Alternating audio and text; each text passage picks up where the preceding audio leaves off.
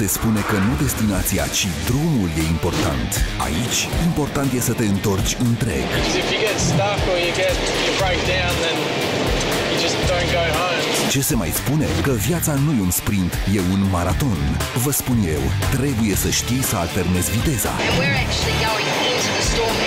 Și se mai spune că în luptă nu contează cât de puternic ești, contează cât de puternică ți dorința de luptă. Cel puțin pe asta au nimerit-o. We cheated death. We made it, brother. We made it. Cei mai duri șoferi australieni încing cele mai dure drumuri ale Australiei. Yeah, let's see how hot. People just need to take a deep breath when they see it radio down, hang the phone up and say, okay, there's something big coming at me. This is turning into a bit of an epic one. Everything is shifted by trucks. It's a dying breed. Truck drivers are. They really are. You have to be suited for it. Camioane în Australia. Luni de la ora 22 pe Discovery Channel.